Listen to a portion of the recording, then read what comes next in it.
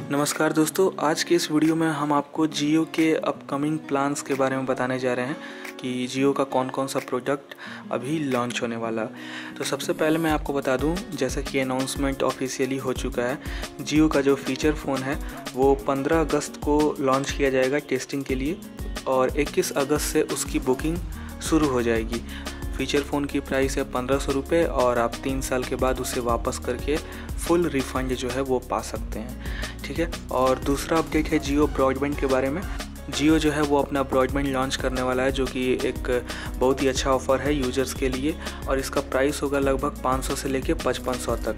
ऐसे इसके कोई भी अभी प्लान जो है, वो कंफर्म नहीं है, लेकिन कुछ वेबसाइट जो है, जैसे जियो प्राइम या जियो केयर उन्होंने अपने हिसाब से एक अंदाज़ा लगा करके प्राइस के हिसाब से डेटा लिमिट स्पीड और वैलिडिटी को सेट किया है, जिसका लिंक मैं डिस्क्रिप्शन में दे दूँगा, आप जाके चेक कर सकते हैं। इसकी लॉन्चिंग जो है वो होगी दिवाली में। दिवाली जो है वो अक्टूबर में है 19 अक्टूबर को दिवाली है। तो हो सकता है कि पाँच से दस दिन पहले लॉन्च हो जाए।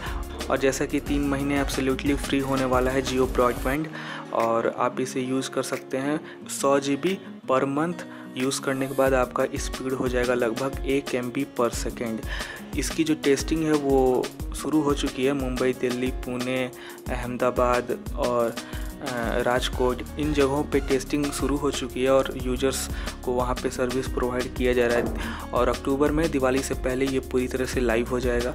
और तीसरा अपडेट है जियो डीटीएच के बारे में, जो कि सितंबर में लॉन्च होने वाला है। और हो सकता है कि ये भी तीन महीने तक फ्री रहे अंबानी स्टाइल। उसके बाद आपको मिनिमम एक सौ अस्सी रुपये देने होंगे। और बिल्कुल HD चैनल चलेंगे। इसके बारे में अभी ज़्यादा अपडेट नहीं है। लेकिन लेकिन सितंबर में ये ज़रूर लॉन्च होने वाला है। तो तीनों ऑफ़र यूज़र्स के लिए बहुत ही अच्छे हैं। कोई भी ऑफ़र छोड़ना नहीं चाहेगा और मेरे ख्याल से आप भी यही सोच रहे होंगे। सो आपको जो ऑफ़र पसंद आता है उसे कमेंट कीजिए और मिलते हैं नेक्स्ट वीडियो में, तब तक के लिए बाय